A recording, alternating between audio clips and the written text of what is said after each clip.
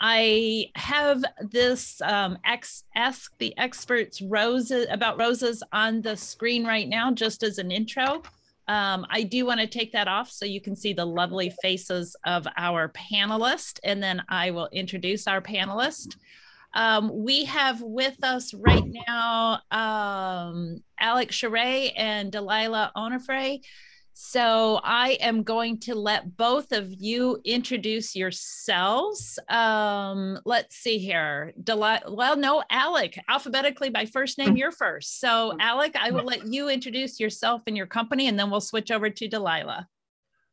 Well, thank thank you, and I've been using that ploy with my name for a long time to get in the front of the line all the time. So uh, thank you for keeping the tradition strong. Um, hello, everybody. It's good to be with you. Uh, my name is Alex Charais. I'm the Chief Marketing and Product Development Officer at Bailey Nurseries. Uh, Bailey Nurseries is located in uh, the Upper Midwest, up in the Twin Cities area of Minnesota. Uh, we uh, we are uh, plant breeders and growers, and I'll do all those good things. And Easy Elegance Roses is one of our brands, so I'm sure we'll be talking a little bit a little bit about that today. so very very happy to be here to talk about roses and gardening. Great. Okay. Um, next alphabetically is Delilah. Hi, I'm Delilah with Suntory Flowers. I'm marketing director in charge of our marketing activities in North America. Um, shrub roses are actually a relatively newer direction for us. We have two lines. We have the more com compact disease resistant shrub rose called Sun Rosa, and we have a more full sized you know, fragrant, fully double flower disease resistant line called Brindabella. So these are both through partnerships with um, you know, third party rose breeders. In fact, um, the Sun Rosa line is from Dr. Keith Zary, who's um, from Jackson Perkins fame. And then we have John Gray in Australia, he and his wife Sylvia, who have um, a nursery, and he's actually a plant pathologist that had driven to bring fragrance back to roses and while keeping the disease resistance. So we've, you know, for four years now, um, been marketing the line in North America. Okay, great. Uh, one other quick, no, two housekeeping tips. Um, if you go up to the upper right area where it says view and put it on speaker view, um, you'll have a little bit better experience because then the person who is speaking will be large on screen and um, it just makes it a little bit better. The other thing is in the um, chat, I see some people have already put some questions there, so that's great. I will ask them, um, but do post any questions that you have there and we will get to them. And um, I think what I would like to do is start with I know there's different types of roses. And so maybe if both of you can um, kind of talk about the different roses that your company uh, breeds in, works with, et cetera. Um, there's many different types, and that would probably be a great way to get started. So let's, uh, Delilah, you're on screen, so I'll let you go first, and then we'll flip back to Alex. We we're really good about sharing who goes first. Okay, so um, so our two lines I mentioned. So the Sun Rosa is a very compact, smaller flowered one. It it's it doesn't like spread like a drift. It pretty much stays put.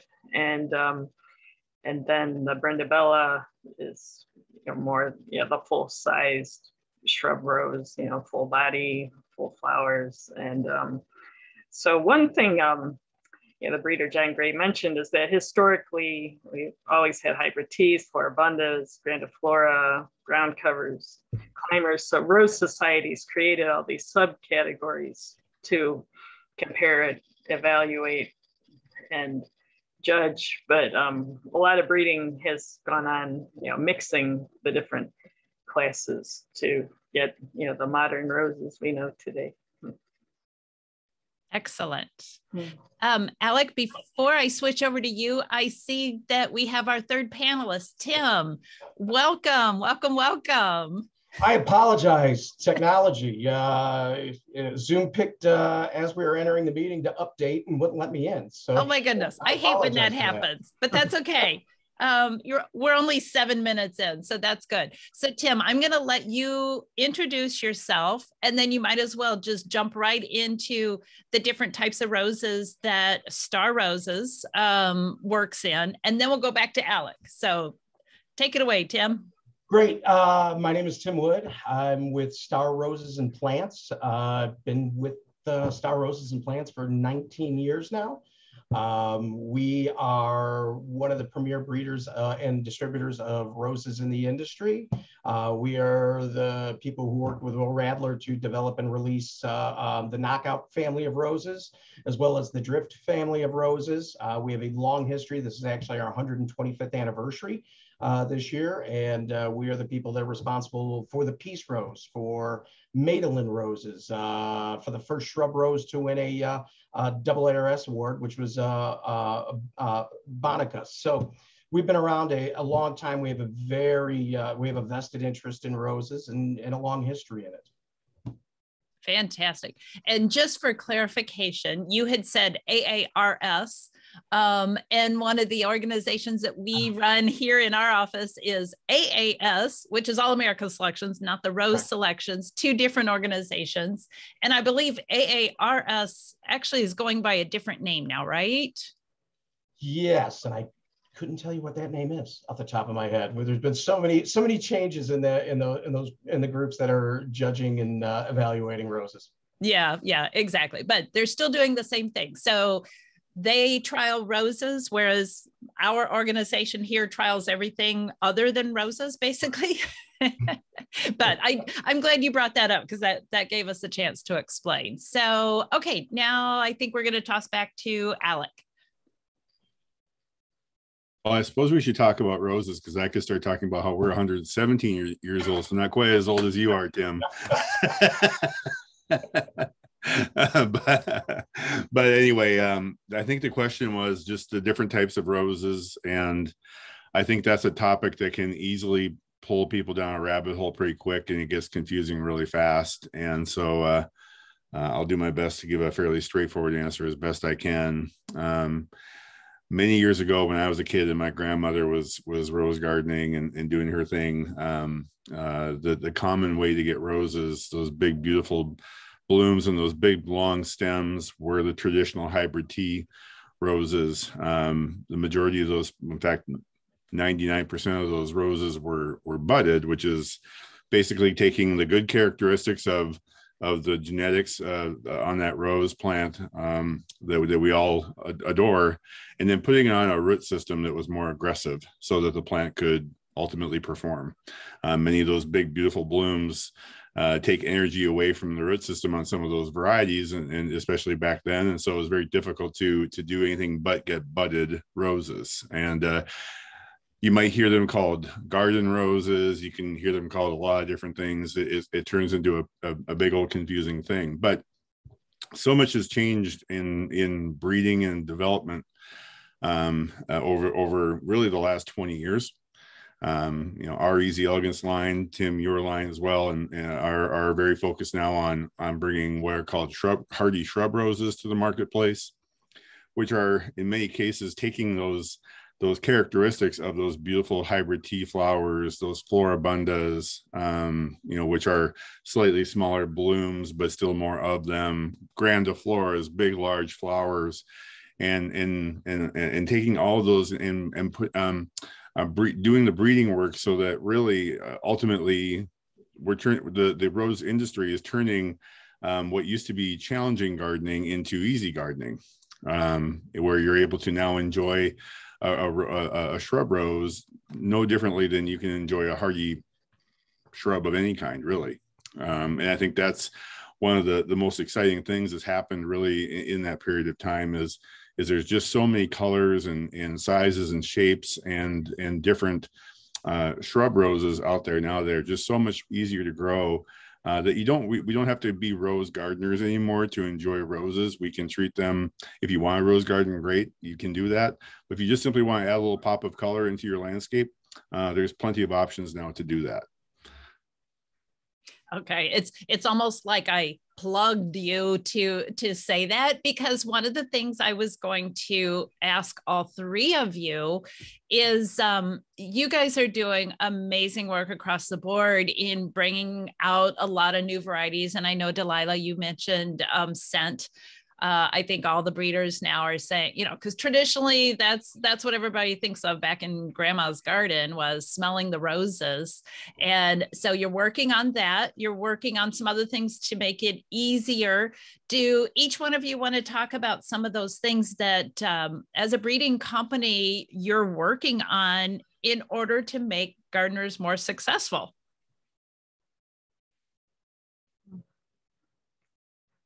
Well, oh, okay.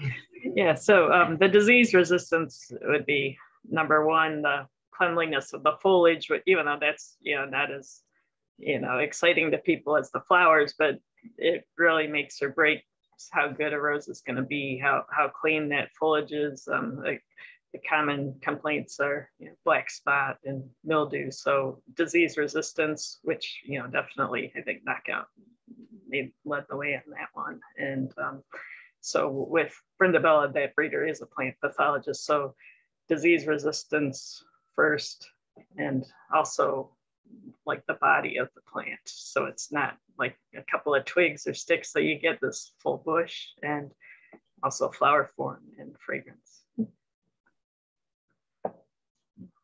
So disease resistance is incredibly important to us. Uh, we, and thank you. We, we, we feel we've led the way with, with, with the knockout family of roses, drift roses. One of the things that we've been working on for the last 15 years plus is bringing that those level of genetics, those level of disease resistance into garden roses, into traditional hybrid teas, grandifloras. Um, and more importantly, uh, or just as importantly, developing uh, garden roses that are hybrid teas, grandifloras that will grow on their own roots.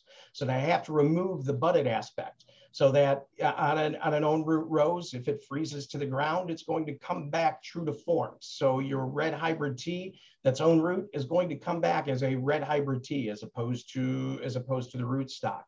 So that's an area that we have been been actively actively breeding in and and uh, uh, improving. And as you can see behind me, Scentables is is a a line of our our best garden rose genetics hybrid teas, and this this is uh, a focus on fragrance as well. Uh, so that is the, the disease resistance absolutely is there. The hardiness, we're working on zone four hardiness as much as possible, which uh, Bailey's has been phenomenal with over the over the years. Um, um, and then again, disease resistance, fragrance, and getting grandma's rose own roots and to a point where we don't have black spotted on, on it anymore. It has leaves in August. Um, and it will be reliable for the for the for the average gardener and they can feel they could plant it where where they plant a knockout in the front landscape in the right in the normal garden and not have to worry about its appearance in August or September. Tim is very nice to say that we're great at the, the northern breeding. Well, by gosh, we better be. We're in Minnesota. we we have about two months of growing season. So uh, no, thank you. Um, yeah, I, I think that you're going to hear a lot of uh, you know even throughout this next 45 minutes you're probably going to hear us talk a lot about disease resistance. I think it's just going to be a common thing because it's really been one of those things in in breeding that if you don't have plants that look good in the garden when plants aren't in full bloom, uh, it's, it's, just not a desirable trait. Um, when it comes to uh, specifically some of the things that we work on, in addition to that, uh, Tim brought up the the cold tolerance and the cold hardiness uh, with the Easy Elegance line um, you know that's something that's real and and I think that you know a, a lot of the genetics I, I talked about um, early on in the in the session here about those those hybrid tea types, those beautiful blooms, things like that. It was always that sore spot that you you had to take those old fashioned roses uh, that were budded and and which means they were they were grown differently than today's shrub roses. Uh, you would have to take that plant and you'd actually have to bury it in the ground in a in a method called the Minnesota tip. That's what we called it, and and you basically have to go through this process. And I think for a lot of people, it just got to be exhausting, and it got to feel dated, and and we just felt like this is just isn't the payoff really isn't there. Uh, or or or if you're probably like me, I, I I never had to do it, thankfully, but I'm sure I'm sure as heck certain if I would have buried one of those roses, I would have never remembered where I buried it. So that's that's probably part of the deal too.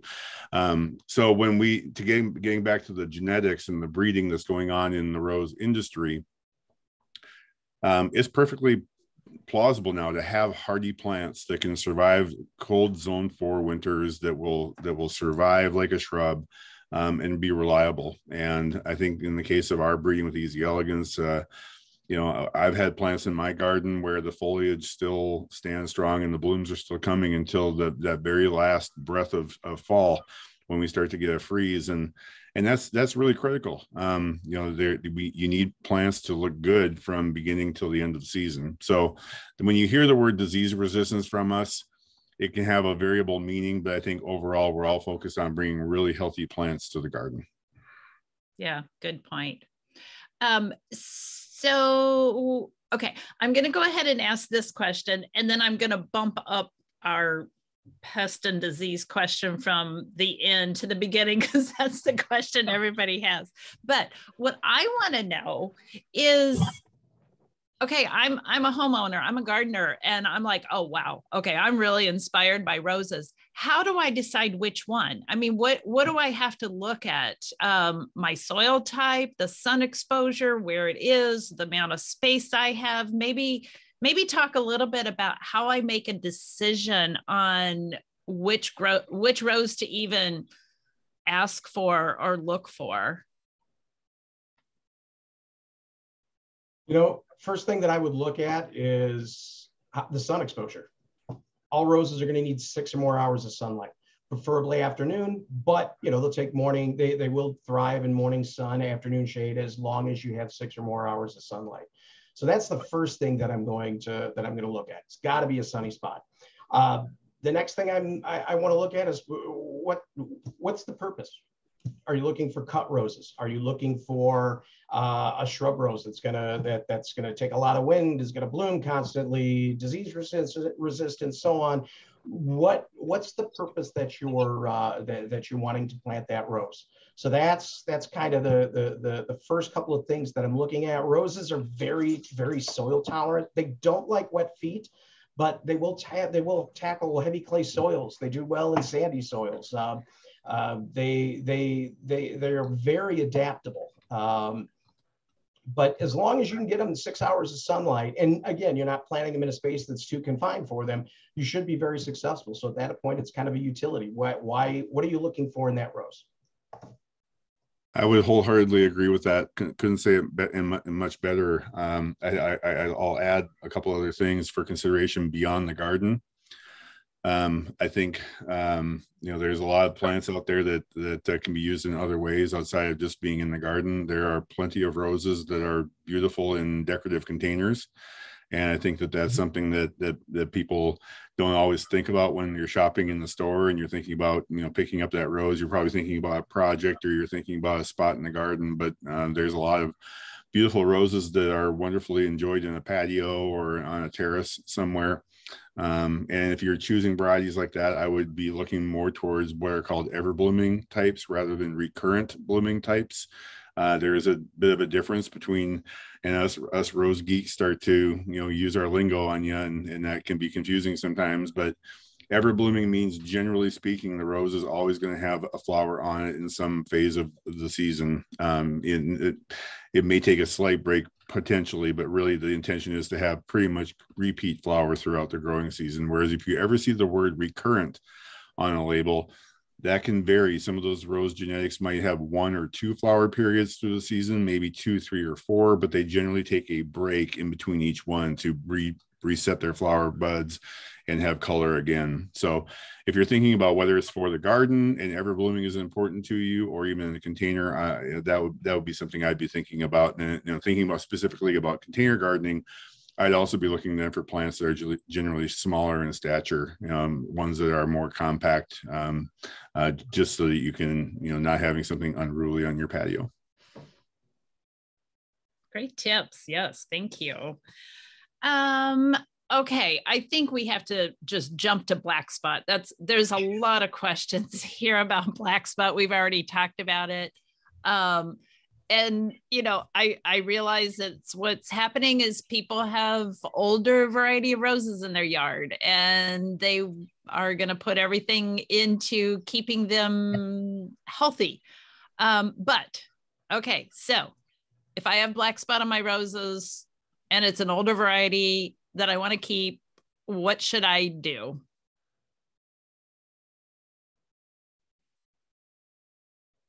you want to uh, there's. I can always open my big mouth, but I'm just trying to be respectful. exactly. exactly. Uh, you know, there are a lot of products that can be used for for black spot. Um, there are some some granular products that would be put on early in the season. Um, one of the if you're if if it's an older rose and you're trying to maintain it, uh, black spot needs to be treated as the leaves are emerging in the spring and it's typically when you know when when it's raining when when the weather conditions are are at its worst to go out and have to apply a fungicide of some type but that's really when you need to uh, need to apply and treat for black spot um, so if you're if you're very much attached to that rose, then that's when you're going to need to uh, to do the treatment on it. Uh, as the leaves fall off, remove the leaves from the ground. Don't allow them to, to lie on the ground. That's a, uh, the spores will overwinter and uh, on those leaves. So try and make sure you're really cleaning up uh, in the fall or even, you know, in the summer as well when, uh, when, they, when they defoliate. Um, and if you're not overly attached to that rose, buy a newer rose, buy an improved rose, a newer variety that's very disease resistant. Uh, along with that treatment, uh, I would also say if if you have a variety that you love and you're trying to keep it healthy and and and all the things that Tim brought up about treatment from a fungicide application are spot on. Uh, also make sure that they that the plant's not crowded in the garden and allow it the the ability to have some air movement so that uh, the foliage can remain as dry as possible and and uh, that will also uh, potentially help a little bit. So I'm assuming the same advice um, with a lot of garden varieties is water in the morning or drip irrigation. Don't water at night because it will encourage it. Is that true or not true? Very true. Yeah, make sure you're watering in the morning, early enough in the afternoon, and that it's going to dry before uh, before we get dark. Uh, you need a certain amount of time of moisture on the leaf for those spores to germinate. So you want to make sure that you're watering early enough so that the plant dries off. And as Alex said, a lot, you know, good airflow. Don't don't pack them in. Allow for good for good air exchange and and uh, um, keep them dry at night. Okay. Um, so we have some questions um, on pest also. Somebody says, I have six bush, rose bushes that have been invaded by beetles. I'm assuming Japanese beetles, not sure. Um, I pick them off. Anything else I can do? Question mark. Well, yeah, uh, you can, I mean, you can use, um, certainly there are uh, over the counter, off the shelf um, insect, insecticides if, if that's something that, that you want to use. The, the, the issue with something like a Japanese beetle is generally you have to use a product that is non-selective, uh, meaning generally the insecticide is going to kill other beneficial insects in addition to the insect you're trying to kill. Uh, so it's not to say that you can't use it. I mean, if you use the product safely and as directed, and you keep it specific to to your your issue, and you don't just go and spray your entire flower garden with it, then you know that's perfectly legitimate. Um, uh, uh, just use it more as a as a a focused control uh, for the interval that's been been, been suggested, and then and then move on. Um, um, otherwise, there are there are other organic um, uh, methods as well uh, that I'm not nearly as versed on. If some if there's another panelist that is, that's that's certainly helpful. Um, you know, things like insecticidal soap or uh, you know a neem oil or, or things like that could be used. But I think they're, you know, Japanese beetle are are not you know they're they're they're pretty tough. Um, you know, there's other there's also traps that you can use for Japanese beetles and, and hang traps in your garden and things like that too. So um, I don't know if that was specific enough, but that's uh, maybe gets the ball rolling. Well, is um, I just made the assumption that it was Japanese beetles. Are there other beetles that attack roses, or is it you know kind of different climates, geographic areas have different beetle issues? There's there's there are several of the white grub type beetles, chafer beetle, and a few other. And um, I would also add to to to, uh, to Alec. Um, this is going to sound a little crazy, but there, there's also a, a, good argument of doing nothing and allowing them to feed. And and by that, what I what I mean is the years that we I I've personally had those those infestations and, and seen them in landscapes and so on that fall, late summer, that fall, when, when the plant flushes back out again, those have been some of the most phenomenal reblooming periods for those for those plants. You have clean foliage, the, the foliage isn't tired. You've got brand new energy from those from those leaves, and you're just going to have a you typically are going to have a great fall blooming season. So I'm actually kind of an advocate of letting them chew. It's not going to hurt the plant. They've already built up a lot of their a lot of their nutrients that they needed uh, from spring, and then they're going to reflush again, and you're going to have a great flower show in the fall.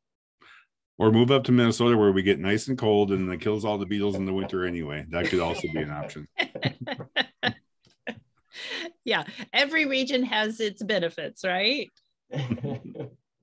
I like the idea of uh, just letting Mother Nature go and uh, letting the beetles do your pruning and other stuff, and mm-hmm. strong will survive, right? Yep. Okay, so there's another question then about sawflies. Um, sawflies have turned my leaves to windows. Is it okay to remove these skeleton leaves or am I doing more damage to my plant by removing those leaves? Should I leave them on for photosynthesis? I would say it depends on the percentage that uh, uh of the of the damage. If it's if it's you know 70% of the leaves which typically on sawfly it's not um, then you're going to want to leave what you what you have there to try and you know to, to give energy to the plant. Um, if it's a handful go ahead and remove those and they'll, they'll go ahead and flush back out again. And what about uh, the sawflies is it kind of a similar thing? Um, leave them be they're not going to do that much damage pick them off. What's the control solution? The soft, sawflies are, ve- very, very specific window of time. It's a very short period of time. They typically don't do that much damage. So we get calls um, and lots of, you know, questions about them.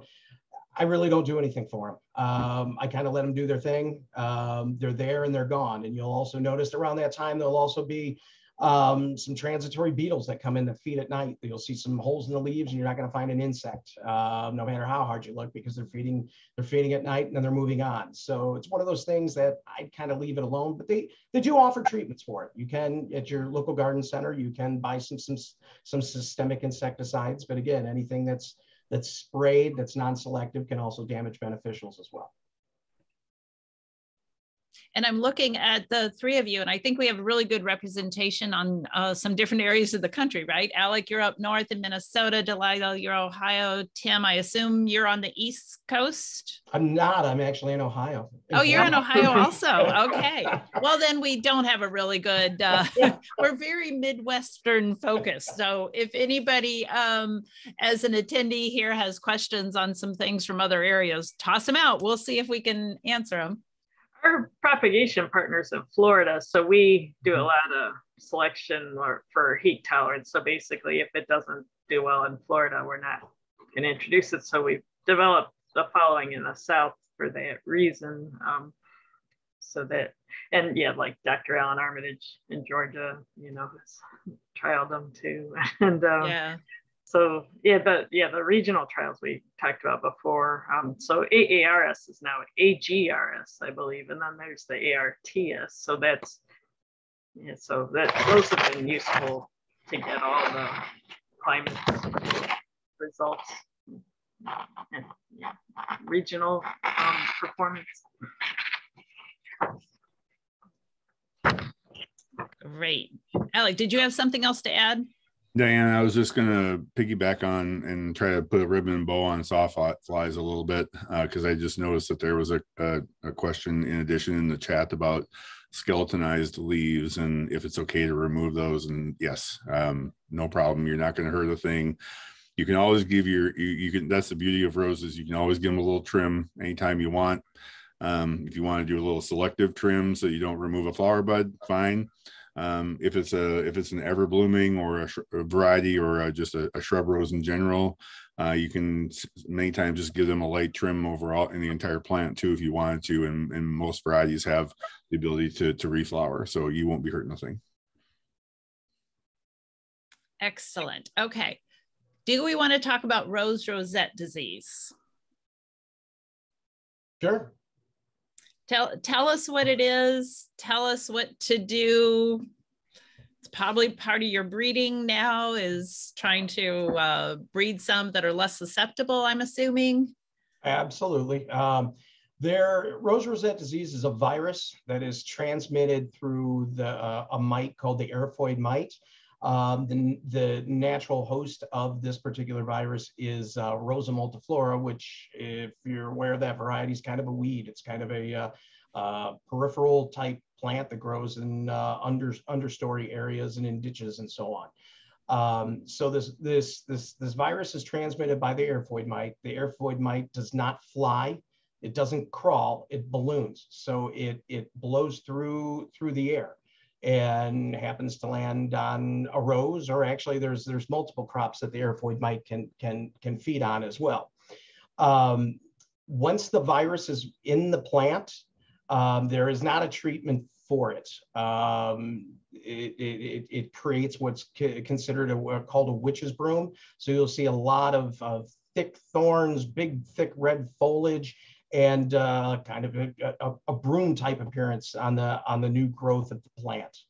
Um, we do know that the amount of rosa, rose rosette disease in an area is directly related to the amount of rosa multiflora that is growing wild within the area as well. So it's a kind of, it, it, it's something that we've watched over the last 40 years or so, I believe. It's, it's, it, it, it's transitory and kind of a bell curve type type thing. You'll have it, it'll be intense for three to four years. Ro- the rose rosette virus will destroy the rosa multiflora that's in the that's growing wild in the area. The virus will go away again for another 10 or 15 years until the amount of rosa multiflora that's growing wild will start to build back up again. Um, and it's this cycle that continues. We see it heavily in the in the in the mid South regions, so Kentucky, Tennessee, Virginia, uh, Missouri, Kansas, those areas. Uh, it's it's it's very prevalent. I've seen it as far as Michigan. Uh, I've seen it up in Wisconsin. The eriophyid mite is very hardy, so cold isn't an issue. They found it up in up in Alberta. Uh, one thing that we do know about this and and the more that I've seen it over the last 10 years, I'm more convinced than ever about it. This is more a maintenance issue than than an issue or a plague of roses with a virus. We do know that the mite overwinters in the in the in the top portion of the plant. We do know that if the mite hits the ground or is removed from the plant, it's going to die in 48 hours. Again, it doesn't crawl, it doesn't fly. It hits the ground, it's lost its feeding source, it's it, it's done we know that if you trim the top third portion of the plant, you're removing overwintering mites. And you're going to greatly reduce the propensity and the, the chance of getting rose, rose, or rose rosette disease on other plants uh, or on other roses. This virus the, and, the, and the mite moves very slowly and methodically. Um, there's an amusement park in Cincinnati. It's a, called Cedar Point about eight years ago, uh, I got a call from one of their from one of their landscape, uh, one of their head nursery people to come up and look. They had knockouts planted throughout the entire entire midway. Slowly but surely, over about a three year period, row after row was getting this weird weird disease. But it wasn't something that took out the entire fairway in one season. This this was something that took three to four years before we finally removed it and found out that yes, this was rose rosette disease. And there in Sandusky, Ohio, there is a plethora of Rosa multiflora and all around the park. So it was just best that we removed knockout for that period of time. But again, not something that came in. We're talking hundreds of roses. Took them three years, and it was a methodical row after row of, of knockout that slowly, slowly was infected. And, and then it, you know, it affected other other roses that were there there as well. But again, very slow, very methodical. So getting it in there, getting it into your garden isn't the end of all the roses. You don't have to dig up every, every rose and get rid of it. I would recommend that you remove the one that's showing active symptoms uh, and make sure you're trimming. Make sure you trim in the spring. Cut back the, the plant by a third, if not two thirds. And, and, and you don't always have to be pretty on how you trim it back. I, I take my knockouts, my shrub roses, I come back to about six inches and it's not, it's not pretty, but they flush, they do great. And we don't have the incidence of rose rosette disease. And there's a, a study that was sponsored with a landscape uh, company, it's slipping my mind now in Virginia. Um, and they were looking at uh, insecticidal type control versus maintenance controls and they saw a significant decrease in the amount of rose rosette disease that in their in their area simply based on on trimming and trimming uh, trimming alone that's very interesting. I i hadn't explored the topic. I always thought that you had to get rid of the rose. So you don't. It's a matter of good maintenance good trimming good pruning. Well i, I will say if you if you have it in there uh, you're going to want to remove that particular rose, but you don't need to remove all the roses around it. The one that's symptomatic, there, there is some anecdotal evidence of if you catch it early enough, trim it back to the bot to the base, and and it may not get you know move throughout the plant. I can't tell you that's that's gonna that's gonna be the fact. I've heard I've heard that thrown out. I would say on that particular plant, just re remove the one that's infected, and and if you don't, you're not seeing it on the other roses, chances are you're not gonna you're not gonna have it. Make sure you're trimming in the spring. If you're doing that, you're going to greatly reduce the amount of uh, incidences or potential of uh, spreading rose rosette disease. Awesome information. Um, do you have a source? I mean, because really it's identification by this little broom type appearance um, where it puts out extra foliage, right? Do you have a good recommendation or do you have a link we can put in the chat that would show a rose with rose rosette disease? Uh, there, there actually is. I believe if you uh, look up roserosette.org, there is a, uh, uh, uh, a, national nursery group that if we've all kind of come together. Bailey's is a part of it. I believe Suntory is a part of it as well, where we've we've uh, funded research into it. And yes, it's active going research to try and find varieties that are going to be resistant or breed resistance into those particular varieties. Okay. Um, well, I think that's a perfect segue to talk about pruning. Oh, good. Gail just found it and she put it in the chat. Perfect. Thank you, Gail. Um, but maybe each one of you want to take a little bit uh, part about pruning. Uh, what time of year is it different for different types of roses? Somebody specifically says, I have a carpet rose that's five feet high. Can I prune it down? Um, somebody else is asking about deadheading. Um, and then we're going to talk a little bit about um, the, the logistics of growing soil and fertilizer and stuff like that. But uh, who wants to, who wants to first tackle pruning and deadheading? Well, so um, so our breeder John Gray, he says annual pruning in the winters, all that's required. Cut two thirds of the bush away, in shape to a rounded form.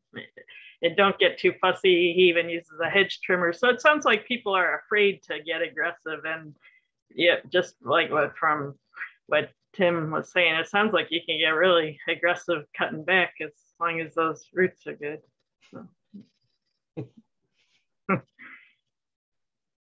yeah, everybody's always afraid to um, harm by pruning, and it is surprising. So, did you say cut to a third or cut a third? Two thirds, two thirds of the bush away. Okay. And I know, so we have Brindabellas um, alongside our porch at home, like the purple prince, we got four years now, and they're like five feet tall. And my husband does cut them back, you know, significantly every year, and then, you know, they rebound. So I, I think cutting back aggressively is a good idea. And did you say winter or late winter? Or spring. Uh, sorry. Okay, so that since the breeder's in Australia, he says winter, so it'd be um, when there's no probably no danger of frost. I would think, uh, yeah, early spring. Okay, Alec, what about your experience being in a northern colder climate? When when do you recommend pruning? Well, if we're talking about shrub roses, um, which I'm going to assume that we are, then then I would agree that there there's a lot to that. I think the other thing about uh, about pruning because there's pruning when you're when you're trying to really aggressively prune to maintain shape or improve vigor to get the plants to to to to actively grow that's one thing. There's also pruning after the winter season. You know, there's inevitably going to be uh, parts of the rose bush that's going to have some dead stems. Uh, we also call them canes. If you ever hear talk, people talking about rose cane, it's the same thing as a stem. Again, we like to throw lingo out there for some reason. Sorry, everybody. Um, but but um, if, if, there's a you know it, the kind of the rule of thumb is you can either um, you can wait to see what's actively growing and, and let the plant after winter you can let the rose bush start to leaf out and then once you see um, leaves emerge you'll know what what stems didn't survive that winter and you can prune then or generally it's pretty easy to tell because the stem will be basically brown whereas the the stems that are truly um, still actively alive uh, are, are more green in color. Um, so so i think that that can just be some maintenance that, that can happen from time to time because you know that that level of pruning after winter will depend on what type of rose you have, how how hardy that rose bush is for the climate.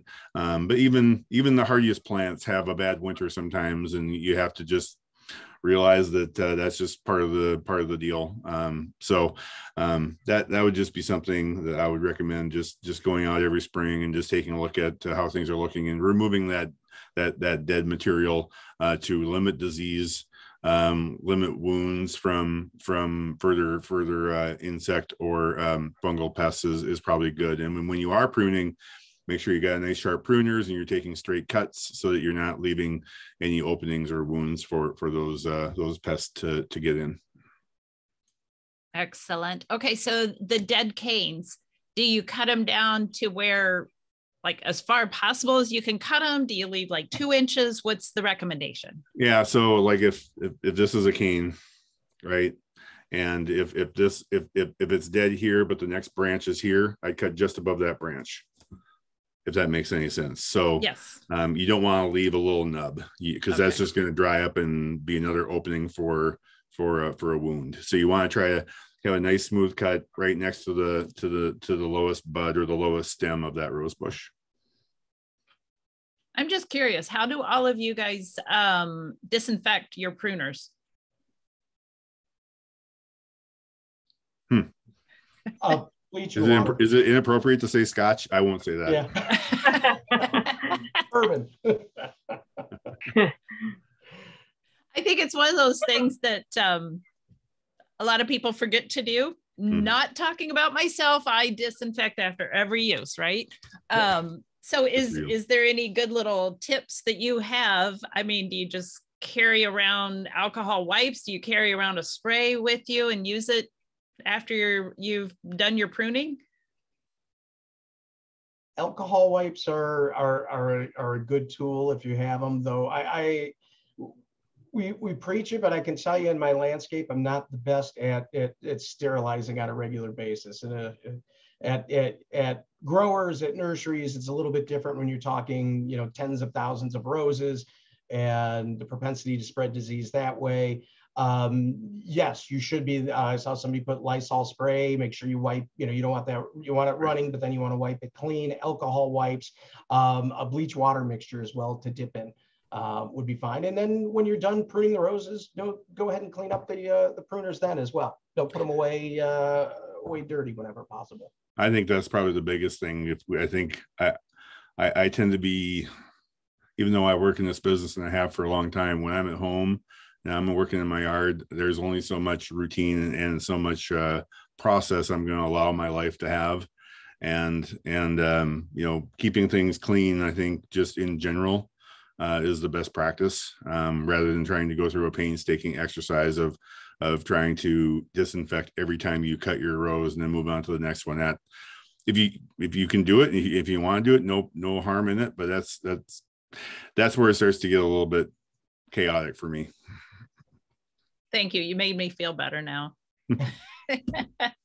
um, we were we were talking about some of the diseases uh, uh, pests earlier and somebody was asking about aphids on their roses. I forgot to include that earlier. Somebody want to address aphids?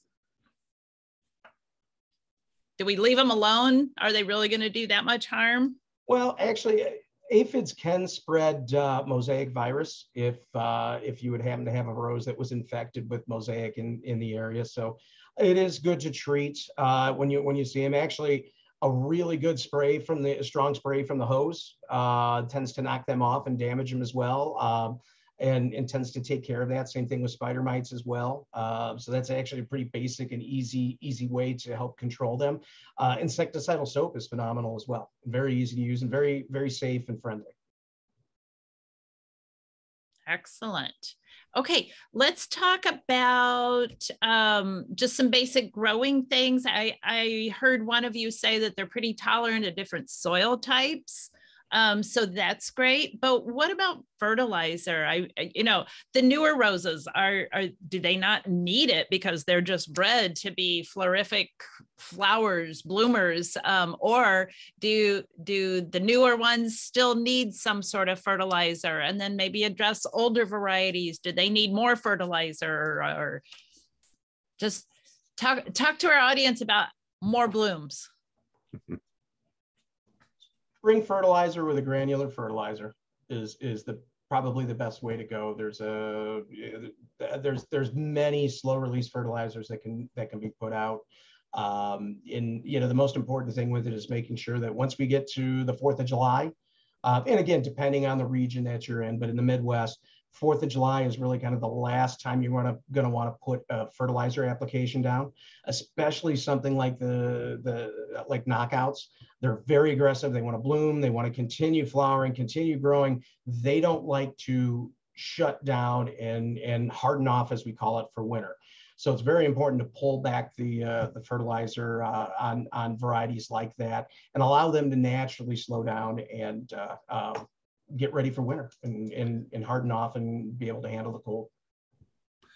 I would also suggest the pruning goes along with the fertilization mm-hmm. as well, and not you know once you get late in season, pat in, into that early August timeframe. That's when any real aggressive pruning should stop.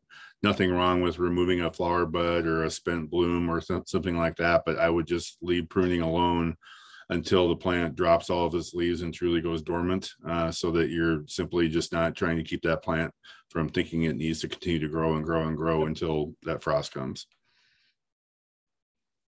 So, for fertilizer, our reader, he um, recommends an NPK ratio 10 for 10, a handful every six weeks. And that his rule of thumb is when you see a flush of flowers, then apply fertilizer for the next flush. That's what he does. Okay.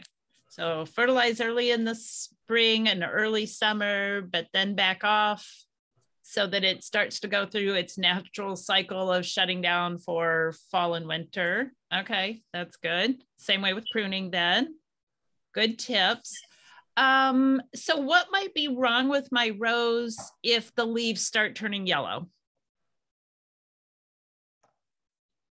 Where on the plant are they turning yellow? That's the that's the other question. Is it inside? Is it on the tips? There's there there's multiple things that it could be. Uh, a rose that has been through drought, um, need, needed water, hot, dry, didn't get the water. Typically, you'll see yellowing on the inside and maybe a defoliation of the inside leaves. Um, and, and whereas something that might be a nutrient issue might, would, would be more of a yellowing on the on, on the tips. Sorry, I'm writing this down so we can post it later. okay, so um, a drought would cause yellowing on the inner foliage, but a nutrient deficiency of some sort yeah. would be yellowing on the tips. Are you? Yeah. Oops, sorry about that. It was. When Diane turns her head, I think we have the same glasses because it's got a thing on the oh. side. Okay. so, you know, um, yeah, for yellowing, um, yeah, our breeder John says look at water availability first. If it's the lower leaves, it's not usually a long-term issue, but if it's the top leaves, might need some expert help. Okay. The other thing with yellowing, and not to like, I mean, I think the the core of the question has been answered here. Yellowing can also be a symptom of virus, um, but usually the yellowing is much different looking than a moisture issue like we're talking about here. Normally, it's going to be a little bit more splotchy. There's going to be a little bit of a mix of green and yellow in the leaf and something like that. So I only bring it up because it is a possibility, but really it is a generally a watering issue, I would say. So one of the, uh, this question came up um, earlier that I wanted to ask you guys um, in terms of yellow leaves, in terms of the rose rosette, um, in terms of any other issues. We like to always say to you know our constituents is go to your local extension office, go to your local garden center. Mm-hmm. Um, yeah, you can go online, but you might go down a rabbit hole, and it's very regional specific sometimes you know if we're having a drought in chicago but they're getting way too much rain in portland you know you can't just get a general answer from in general terms the website. So do you guys have any other recommendations? Do you have help desks um, through your website or what what other tips would you give people for really properly identifying any issues with their roses recommend going to your to your to your local garden center. Those are the experts. Those are the those are the people that uh, know the area and are very experienced with the the conditions. Extension as well. Uh, but again, your local your local garden center is there is there to help you, and they've probably already seen it and can can help you, and they have the ability and the products to help to, to help treat the issue.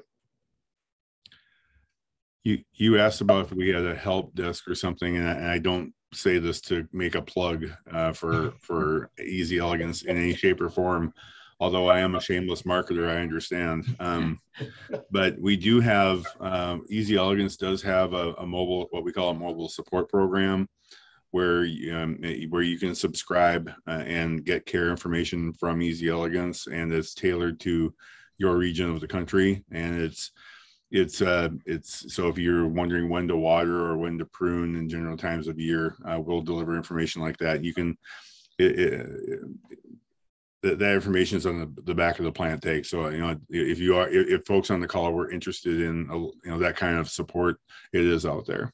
It's not a replacement for the garden center and the extension. I think those those are the the the fundamental first steps when it comes to diagnosing a specific issue but if you're looking for just general ideas on how to take care of things, there are resources like that out there. And you mentioned plant tags. I, I think you guys should kind of talk a little bit about plant tags because it's wonderful information. And I mean, roses have pretty big plant tags. It's not a little bitty pixie tag like an annual will have.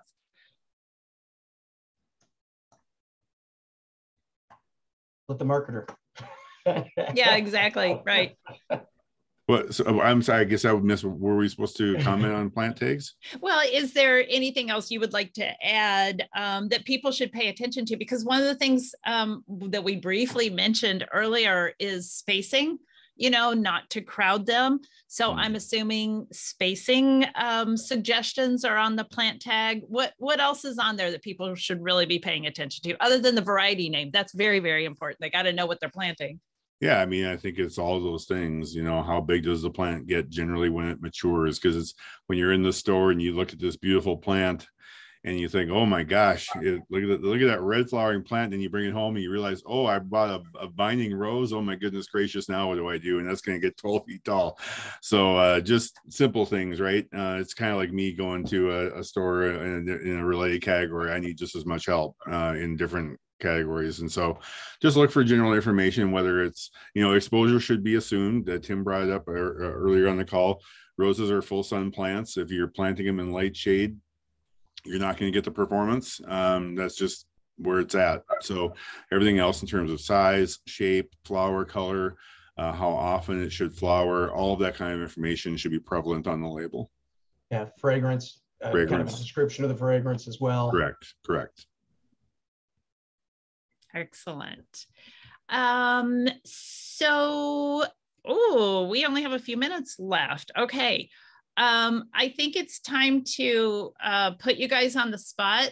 And if you can, name one favorite variety. I guess I might allow you two, or maybe two colors of one variety. I just want to hear what you're passionate about and which uh, which variety or which series is is your favorite and why?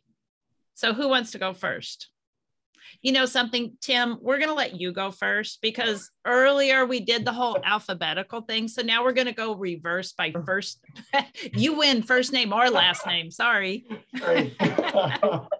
uh, one of my one of my personal favorites is a variety we introduced a few years ago called uh, Sunset Horizon. Uh, it's a floribunda, but it has multiple uh, multiple multiple colors on the on the on the on the flower starts out as a yellow, but you'll have reds, you'll have oranges, you'll have a chimera of red and, and, and oranges and yellows. So you're going to get a, a multitude of, of different colors, and each one tends to be a little unique. It's very it's very floriferous. It's going to flower all summer long. Uh, it has really dark purple foliage. So it, it's very attractive from, from a foliage standpoint. Then you've got these super bright flowers on top of it. Uh, very easy to grow. Um, performs really well in zone five um, in, in areas south. Very clean, very disease resistant too. Uh, so it's going to have its leaves on it in August and it's going to flower all summer summer long. So that's one of my personal favorites uh, um, that, that that's really caught my eye of late. Okay, excellent. Um, then going backwards, Delilah.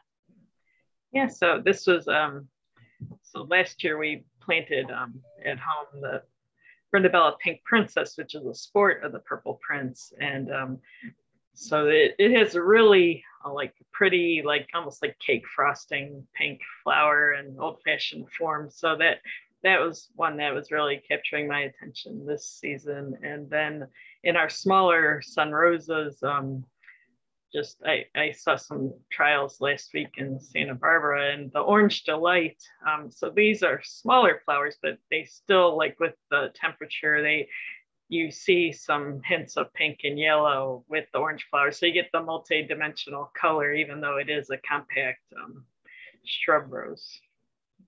Okay, so I I hear both of you talking about some of the uh, variated colors. So that's mm. almost cheating because you don't have to pick one color, but that's yeah. quite all right because I think that's a trend in a lot of breeding is bringing forth multiple colors in the same plant. So that's awesome.